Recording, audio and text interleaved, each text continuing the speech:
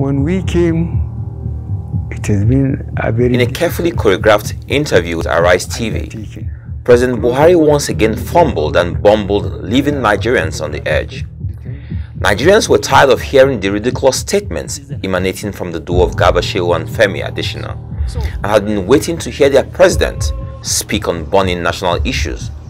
But instead of using this opportunity to console, assure, and unite Nigerians, he once again displayed all the traits he is known for. He confirmed to Nigerians that the Fulani headers are his number one priority and that he will do anything to protect them.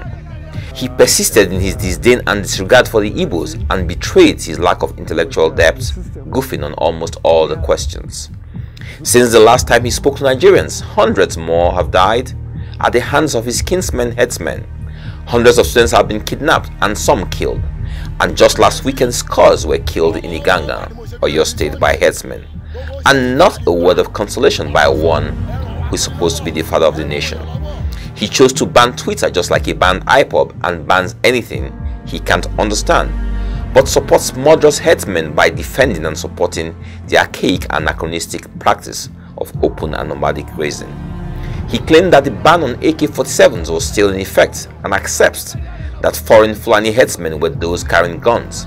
Yet, none of them has been arrested or charged, even though they kill and maim daily.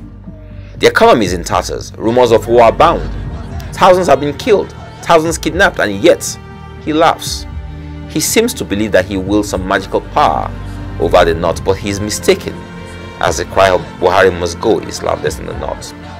President Buhari, it is clear that you can't give what you don't have, and this is one point Nigerians from all walks of life agree on. Fear will surely give way someday to courage, and the National Assembly will do the needful. But until then, please spare us the interviews.